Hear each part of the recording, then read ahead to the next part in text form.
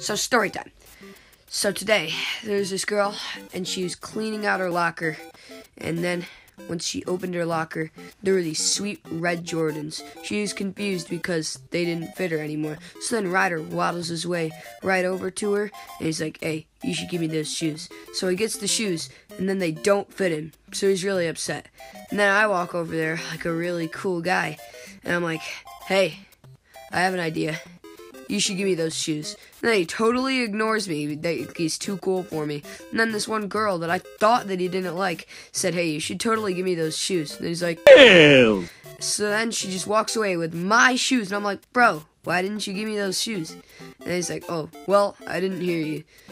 Um, I thought this was kind of sus, so comment down below if he's a simp or if he actually didn't hear me.